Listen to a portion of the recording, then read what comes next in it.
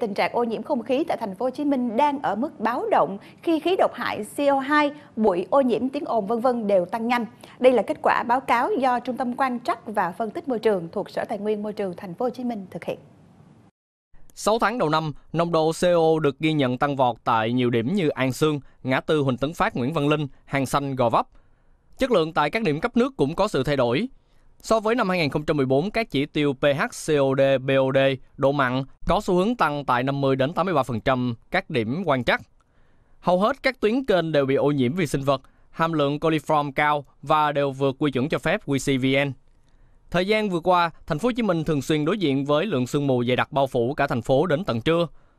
Theo Chi cục Bảo vệ môi trường thành phố Hồ Chí Minh, tình hình ô nhiễm không khí trên địa bàn đang diễn biến ngày càng phức tạp. 89% mẫu kiểm tra không khí không đạt tiêu chuẩn cho phép. Nguyên nhân được xác định là do lưu lượng các loại xe, nhất là ô tô tải lưu thông qua khu vực lên đến hàng chục nghìn lượt mỗi ngày và tình trạng kẹt xe xảy ra ngày càng thường xuyên.